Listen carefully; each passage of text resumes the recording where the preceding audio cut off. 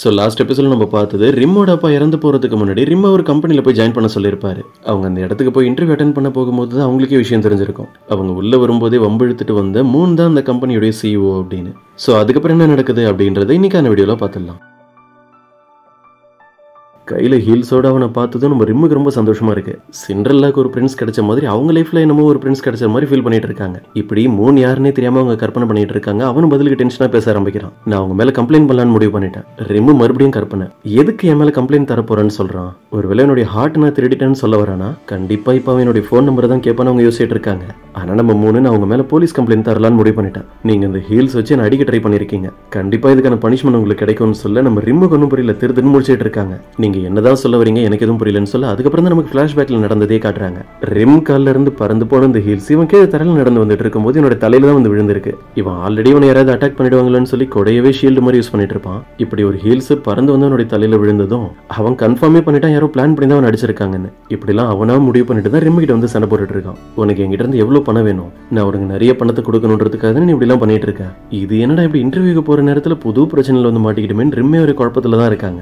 உங்ககிட்ட எவ்வளவு பணம் இருக்கு ஃபர்ஸ்ட் நீ யாருன்னு எனக்கு தெரியாது. நான் எதுக்கு பிளான் பண்ணி என்னோட ஹில்ஸ் அவன் மேல தூக்கி அடிக்க போறேன்? கடைசியான முறைமை இவங்ககிட்ட இப்படியே பேசிட்டு இருந்தா நம்ம டைம் தான் வேஸ்ட் ஆகும். அப்படின்னு போனா போகிட்ட அவங்ககிட்ட மன்னிப்பு கேட்டுட்டு அந்த ஹில்ஸ் வாங்கிட்டு அங்க இருந்து போலான்னு பாக்குறாங்க. ஆனா அவன் தரமாட்டான் என்ன நீ பாட்டுக்கு அசால்ட்டா பேசிட்டு இங்கிருந்து போலான்னு பாக்குறியா? நீ பிளான் பண்ணி என்ன அடிக்கலன்னு சொல்றல அது என்ன ப்ரூஃப் இருக்கு? அதையும் என்கிட்ட காட்டுன்றான். ஒரு கட்டத்துக்கு மேல டென்ஷன் ஆகி நம்ம அவன் கையில வச்சிருக்க அந்த ஹில்ஸ் அவங்களே வாங்கிடுறாங்க. என்ன வந்ததுல இருந்து நானும் பார்த்துட்டு இருக்க ரொம்ப ஓவரா பேசிட்டு இருக்க? ஃபர்ஸ்ட் டைம் என்னமோ தெரியாம விழுந்தது. ஆனா நீ இப்படியே பண்ணிட்டு இருந்தேன்னு செகண்ட் டைம் தெரிஞ்சே விழும். அப்படியே அவனை பயமுறுத்துற மாதிரி லைட்டா தள்ளி விடுறாங்க. ஆனா ஒன்றும் பிரச்சனை இல்லை. திரும்ப ரிம்மே அவனை பிடிச்சி காப்பாத்திட்டு முன்னாடி நடந்த விஷயத்துல என் மேல தான் மிஸ்டேக்னு சொன்னல இப்போ நீ கீழே விழுந்திருக்க வேண்டியது நான் தான் அவனை காப்பாற்றினேன் சார் ரெண்டும் ஈக்குவல் ஆகிடுச்சுன்னு சொல்லி அவனையும் கன்ஃபியூஸ் பண்ணிட்டு நேரா இன்டர்வியூக்கு போயிடுறாங்க. வாஷ்ரூமுக்கு போய் நேராக கண்ணாடி முன்னாடி நின்று என்ன பேசணுன்றதை ப்ராக்டிஸ் பண்ணிட்டு இருக்காங்க. அப்படியே சிரிச்ச முகத்தோட கான்ஃபிடென்ட்டாக இன்டர்வியூ நடக்கிற இடத்துக்கு போனா அவங்களோட ஃபேஸே சேஞ்ச் ஆகிடுது. ஏன்னா இவ்வளோ நேரம் அவங்க பிஸியா யார்கிட்ட வம்பு எடுத்துட்டு வந்தாங்களோ அவன் தான் இன்டர்வியூ எடுக்கிறதுக்காகவே உட்காந்துருக்கான் நம்ம மூணு பார்த்ததுமே அவ்வளோதான் இந்த இடத்துல நமக்கு வேலை கிடைக்காதுன்னு ரொம்ப சோகமா நின்றுட்டு இருக்காங்க. மூணு அவங்கள பார்த்து சிரிச்சுக்கிட்டே நீங்க இன்டர்வியூ அட்டன் பண்றதுக்காக தான் இருக்கியா ஆனா உனக்கு எப்படி மரியாதை நடந்துக்கிறது அப்படின்றதே தெரியல. அதனால உனக்கு இந்த இடத்துல வேலை கிடைக்கிறதுன்றது டவுட் தான். இவ்வளோ நேரம் என்னென்னமோ பேசிக்கிட்டு இருந்தேன். இப்போ என்ன எதுவுமே பேசாம அமைதியா இருக்க? அவங்க பேசுறதுக்கு சான்ஸ் கிடைச்சதும் நம்ம ரிம்மு நான் உங்களுக்காக ஒரு விஷயம் ப்ரே பண்ணணும்னு நினைக்கிறேன். உங்களுக்கு எந்த ஒரு பிரச்சனையும் வந்துடக்கூடாது. உங்களோட லைஃப்ல நீங்க எப்பவுமே சேஃபா இருக்கணும்னு தான் ஆசைப்படுறீங்க. ஆனா எனக்கு உங்க மேல வர்ற கோவத்துல உங்க தலையில இடி விழுந்து உங்களோட லைஃப் சீக்கிரமா முடிஞ்சா நல்லா இருக்கும். ரிம் சொல்றது எல்லாத்தையுமே அவனே இமேஜின் பண்ணி பார்த்து லைட்டா பயந்துடுறான். அதான் கையிலேயே ஒரு ஆயுதம் வச்சிருக்கான்ல. அதை எடுத்து அப்படியே ஒரு ஷீல்டு மாதிரி பிடிச்சி அவங்ககிட்ட பேசிக்கிட்டு இருக்கான். இப்ப ரிம் இங்க இருந்து போய் கொஞ்ச நேரத்துக்கு அப்புறம் நடக்கிறத காட்டுறாங்க. அவங்க சொன்னதெல்லாம் இங்க நடந்துட போகுதோன்னு நம்ம மூணு பயத்துல என்ன பண்ணுறான் ஆபீஸ்ல சும்மா நடந்து போகும்போது கூட அந்த கொடையை கையில எடுத்துட்டே தான் நடந்து போறான் நம்ம பாஸ் ஏன் தான் அடிக்கடி இப்படிலாம் பண்ணிட்டு இருக்காருன்னு அங்க வேலை செய்யறவங்க டவுட் கேட்டதும் செக்ரட்டரி தான் கிளியர் பண்ணிட்டு இருக்கான். எப்பயாவது ஒரு இடம் சேஃப் இல்லைன்ற மாதிரி ஒரு ஃபீல் ஆச்சுன்னா கொடை தான் எடுத்து யூஸ் பண்ணுவாரு. எனக்கும் அதை பத்தி இன்னும் கிளியரா தெரியல. ஒருவேளை அதுக்குள்ள வெப்பன் கூட ஒரு ஏதாவது வச்சிருக்கலாம். இப்ப ரிம் அவங்களோட ஃப்ரெண்ட் சிவஜனை தான் ஒரு இடத்துல உட்காந்து மீட் பண்ணி ட்ரிங்க் பண்ணிட்டே பேசிக்கிட்டு இருக்காங்க. இன்னைக்கு நான் இன்டர்வியூ போயிருக்கும் போது அங்க நடந்ததெல்லாம் என்னால் நம்பவே முடியல.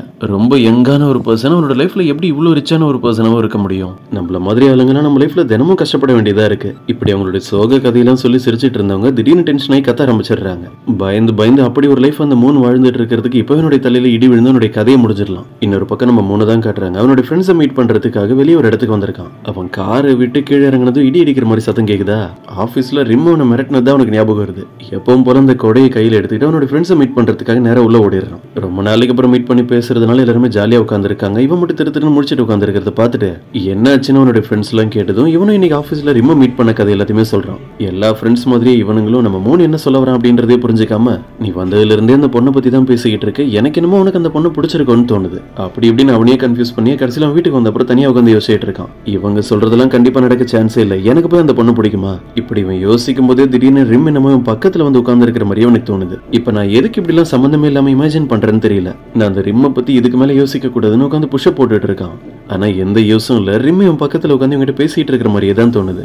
இப்ப அப்படியே கட் பண்ண நெக்ஸ்ட் டே மார்னிங் நைட்டு நம்ம மூணு சரியா தூங்கவே இல்லை போல இருக்கு.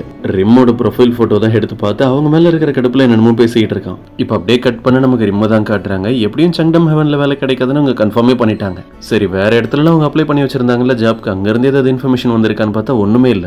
திடீர்னு பார்த்தா அவங்களுக்கு ஒரு அன்னோன் நம்பர்ல இருந்து கால் வருது. அதை அட்டன் பண்ணி பேசின பிறகு தான் தெரியுது நான் சங்டம் ஹெவனுடைய சிஓ மூணு தான் பேசுறேன் அப்படின்னு. நீங்க எதுக்கு இப்போ இவ்வளவு கஷ்டப்பட்டு என்னோட நம்பரை தேடி கண்டுபிடிச்சுன்னு கால் புரியல. அன்னைக்கு நடந்த இன்சிடென்ட்ல நான் தான் தெரியாம பண்ணிட்டேன்னு உங்ககிட்ட மன்னிப்பு கேட்டேன்ல உங்களுக்கு இப்போ என்னதான் பிரச்சனைன்னு கேட்க நம்ம மூணு விஷயத்த சொல்றான். நான் ரொம்ப யோசிச்சு பார்த்துட்டு கடைசியில் ஒரு முடிவு எடுத்திருக்கேன். இனிமே நீ என்னோட இடத்துல ஒர்க் பண்ணலாம் உனக்கு இங்க ஜாப் ரெடியா இருக்கு அப்படின்னு.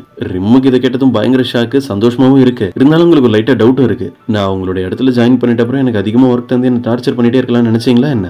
பதிலுக்கு அவனும் அப்படிலாம் இல்லை. விஷயம் என்னன்னா எனக்கு மேலே கோவமே கிடையாது. நீ பண்ணது எல்லாமே எனக்கு ரொம்ப ஃபன்னியாக தான் தெரிஞ்சதுன்னு சொல்கிறான் ஆக்சுவலாக சும்மா இருந்த நம்ம மூணு அவனோட ஃப்ரெண்ட்ஸ் என்னென்னமோ பேசி இப்படி சேஞ்ச் பண்ணிட்டாங்க போல இருக்கு. அப்படின்னா நான் உடனே உங்களுடைய கம்பெனியில் வந்து ஜாயின் பண்ணுறேன் ரிம் சொல்கிறத கேட்டது என்னோட ஃபேஸ் எப்படி ரெட் ஆகிடுது. ரிம் முன்னாடி இவங்க எத்த தெரியணும் அப்படின்றதுக்காக டிஃப்ரெண்டான ட்ரெஸ்லாம் எடுத்து என்னென்னமோ ட்ரை பண்ணி பார்த்துட்டு இருக்கான். ஒரு பெரிய கோல்டு செயின் எடுக்கிறான் ஃபர்ஸ்ட் அப்புறம் பிளாக் கலரில் ஒரு காஸ்டியூம் செலக்ட் பண்ணுறான் ஆனால் அதுவுமே அவனுக்கு பர்ஃபெக்டாக இருக்கிற மாதிரி தெரியல. ஓவராக யோசிக்காம கடைசியாக டீசெண்டாக இருக்கிற ஒரு கோட் சூட் எடுத்து மாட்டேங்கிறான் ஒரு வேலை நம்ம ரொம்ப அழகாக இருக்கிறதுனால எடுத்துதான் அவன் நம்மளை பற்றி இம்ப்ரெஸ் ஆகிட்டா அதுவும் நல்லா இருக்காது. அதனால சம்பந்தமே இல்லாத ஒரு பெல்ட்டை எடுத்து மாட்டிட்டு அந்த கோட்டையை இன் பண்ணிட்டு தான் அங்க இருந்து போறான். இவன் நினைச்ச மாதிரியே ரிம் அவன் அந்த இடத்துல மீட் பண்ணி எப்பவும் இல்லாத மாதிரி மரியாதை கொடுத்து பேசிக்கிட்டு இருக்காங்க.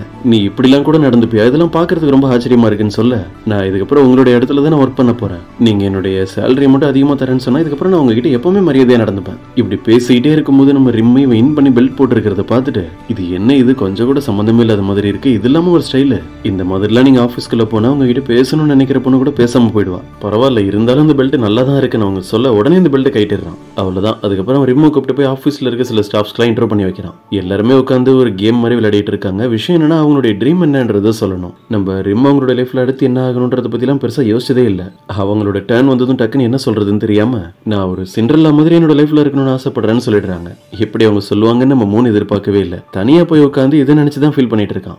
லைஃப்ல அவளுக்குன்னு ஏதாவது ட்ரீம் இருக்கும் அதை பத்தி பேசுவான்னு பார்த்தா ஈஸியா சிண்ட்ரல்லா மாதிரி இருக்கணும்னு சொல்லிட்டு போயிட்டா. நம்ம ரிம்மு லிஃப்ட்டில் போயிட்டு இருக்கும்போது செக்ரட்டரி தான் உங்ககிட்ட என்ன விஷயம் சொல்லி புரிய வைக்கிறான். உங்களோட ட்ரீம் என்னன்னு கேட்டதும் நீங்கள் சிண்ட்ரல்லா மாதிரி இருக்கணும்னு ஆசைப்படுறேன்னு சொல்லியிருக்கவே கூடாது. ஏன்னா இதுக்கு முன்னாடி இங்கே ஒர்க் பண்ணிட்டு இருந்த ஒரு பொண்ணு கூட அப்படி தான் பண்ணாங்க. ரொம்ப வருஷமாக அவங்க இந்த இடத்துல தான் ஒர்க் பண்ணிட்டு இருந்தாங்க. திடீர்னு ஒரு ரிச்சான பர்சன் அவங்க மேரேஜ் பண்ணதும் இந்த வேலையெல்லாம் அப்படியே அசால்ட்டாக விட்டுட்டு போயிட்டாங்க. நம்ம தெரியாம ஒரு வார்த்தையை சொல்லிட்டோம் அதுக்கு பின்னாடி இப்படி ஒரு கதை இருக்கான்னு நம்ம ரிம்முக்கு ஆச்சரியமா இருக்கு. கொஞ்சம் நேரத்துக்கு அப்புறம் நம்ம மூணவங்களை தனியாக கூப்பிட்டு அட்வைஸ் பண்ணிட்டு பேசிட்டு இருக்கான். போனா போகட்டும் உன்னை இந்த இடத்துல ஜாப் அப்பாயின் பண்ணியிருந்தா நீ பேசுறதெல்லாம் வச்சு உன்னோட எய்ம் என்னன்றது தெரிஞ்சிருச்சு. இங்க ஒர்க் பண்ணிட்டு இருக்கும்போதே ஒரு ரிச்சான பர்சன் கிடைச்சானா அவனை மேரேஜ் பண்ணிட்டு உடனே இந்த வேலையை விட்டு போயிடுவேன். அதானே? அப்படிலாம் இல்லை நான் ரொம்ப ஹார்ட் ஒர்க் பண்ணுவேன் ரிம் என்னென்னமோ சொல்றாங்க. ஆனால் அது எதுவுமே அவன் கேட்க மாட்டான் இதுக்கப்புறம் நீ இந்த இடத்துல ஒர்க் பண்ண போறியா இல்லையான்றதை இதுக்கப்புறம் நீ பண்ற ஒரு விஷயம் தான் முடிவு பண்ண போகுது. இங்க வேலை செய்யற எல்லாருமே ரொம்ப என்டர்டெய்னிங்கா சந்தோஷமா இருப்பாங்க. அப்படி ஏதாவது விஷயத்த உனால பண்ண முடியுமா? இது எல்லாத்தையும் கேட்டதும் நம்ம ரிம்மா அவங்க ஏதோ ஒரு பிளான் வச்சிருக்காங்க போல இருக்கு. அப்படின்னா நீங்க என்ன ஃபாலோ பண்ணுங்கன்னு சொல்லி அவனை கூப்பிட்டு அங்க இருந்து வெளியே தண்ணி நடந்து போறாங்க. ரெண்டு பேரும் ஒரு ரிவருக்கு பக்கத்துல போய் ஃபேஸ் டு ஃபேஸ் பார்த்து அப்படியே முறைச்சிக்கிட்டே இருக்காங்க. இந்த இடத்துல நம்ம ரிம் ஒர்க் பண்ண போறாங்க அப்படின்னா அதுக்கான கான்ட்ராக்ட் பேப்பரையும் கையோட எடுத்துட்டு தான் வந்திருக்காங்க. இப்போ உங்களுக்கு என்ன ஃபன் என்டர்டைன்மெண்ட் அதெல்லாம் வேணும்னு சொல்கிறீங்க அவ்வளோதானே நம்ம ரெண்டு பேருக்குள்ள ஒரு கேம் வச்சுக்கலாம். யார் அதிகமாக ஈஸியாக ட்ரிங்க் பண்ணுறாங்களோ அவங்க தான் வின்னர் மேட்ச் ஆரம்பிக்கிறதுக்கு முன்னாடி ரெண்டு பேரும் அவங்கள பற்றி அவங்களே கெத்தாக பேசிக்கிட்டு இருக்காங்க. நம்ம ரிம்மைனோட ஃபேமிலியில் இருக்கிற எல்லாருமே எவ்வளோ ஸ்ட்ராங் தெரியுமா? அப்படின்னு அவங்களோட சிஸ்டர் வெயிட்லாம் அசல்ட்டாக தூக்கிட்டு நடந்து போகிறதெல்லாம் யோசிச்சு பார்த்துட்டு சொல்லிட்டு இருக்காங்க.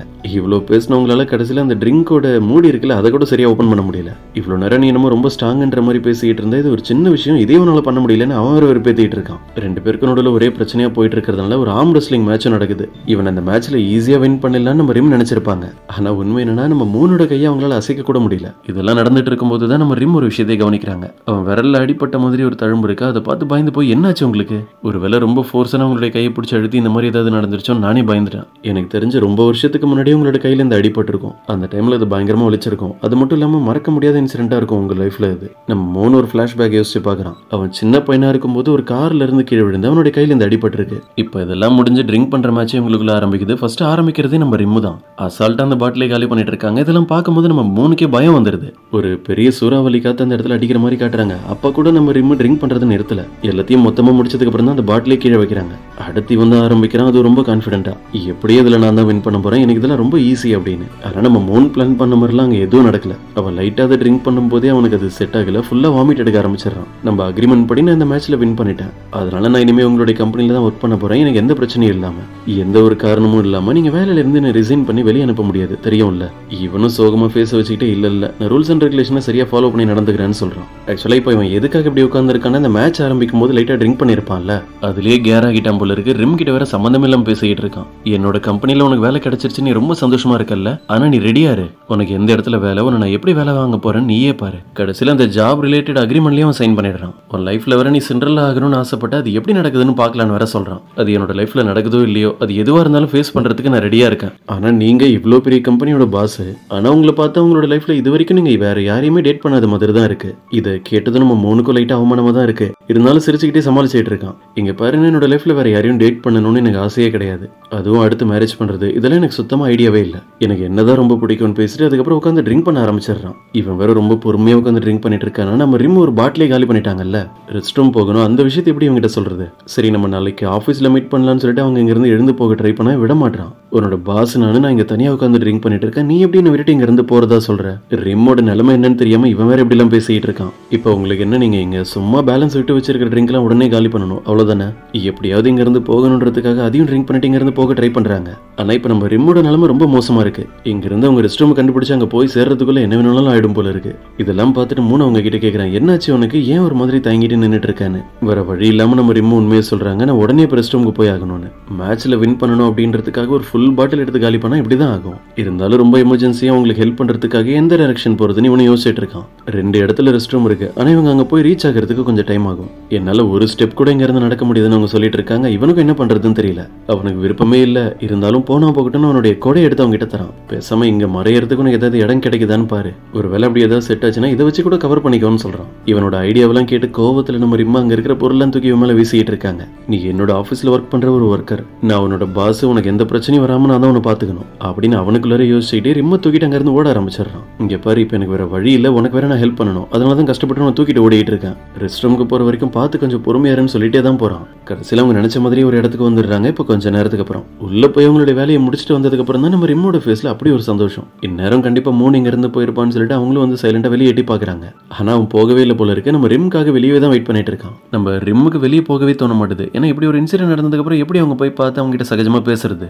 ஆனாலும் அவன் நம்ம நினைச்ச மாதிரிலாம் இல்லை. நமக்கு ஒரு ஹெல்ப் தேவைப்படுதுன்னு தெரிஞ்சதும் வேற எதை பத்தி யோசிக்காம அப்படியே தூக்கிட்டு ஓடி வந்துட்டான். இங்கேயே வெயிட் பண்ணிட்டு இருந்தா நம்ம ரிம்மா அவங்களோட வீட்டுக்கு டைமுக்கு போக முடியாது. அதனால அவங்க வெளியே வராங்க. ஆனா என்ன இருந்தாலும் மூணு பார்க்காம அப்படியே சைலண்டா சிரிச்சுக்கிட்டே போயிட்டு இருக்காங்க சைடுல ரிம் நீ ஏன் ஒரு மாதிரி வியடா நடந்துக்கிற? ஏதாவது பிரச்சனையான்னு கேட்க அது ஒன்றும் இல்லை. இன்னைக்கு என்னோட பாஸ் முன்னாடி இப்படி சில இன்சிடென்ட்லாம் நடந்துருச்சு. அதை நினைச்சு பார்த்தா எனக்கே கொஞ்சம் அவமானமா இருக்கு. அதனால தான் சொல்றாங்க. இப்படி அவங்க பண்றதெல்லாம் பார்த்துட்டு நம்ம மூணு சந்தோஷப்பட்டு சிரிச்சுட்டு இருக்கான். இப்படி இவங்க ரெண்டு பேரும் பேசிக்கிட்டு இருக்கும்போது திடீர்னு இந்த இடத்துக்கு ஒரு பொண்ணு வராங்க. அதுவும் நம்ம மூணுக்கு நல்லா தெரிஞ்சவங்க போல இருக்கு. அவனை பார்த்து ஹனின்னு சொல்லிட்டு வராங்க. அவன் அவங்களோட பேரை சொல்றான். இந்த பொண்ணோட பேரு டேனா. நான் உன்னை மீட் பண்றதுக்காக எவ்வளோ நேரமா ட்ரை பண்ணிட்டு இருக்கேன் தெரியுமா? நீ சங்னம் ஹெவன்லயும் இல்ல என்னோட ஃபியான்சி எங்க இருக்காரு அப்படின்றத கண்டுபிடிக்கிறதுக்கு நான் இங்கே ட்ராக்கர்லாம் யூஸ் பண்ணி தான் இந்த இடத்துக்கே வந்தேன். இப்படி இந்த டேனா பேசுறதெல்லாம் கேட்கும்போது நம்ம ரிம்முக்கு தான் பயங்கர ஷாக்கு என்னது ஃபியான்சியா அப்படின்னு?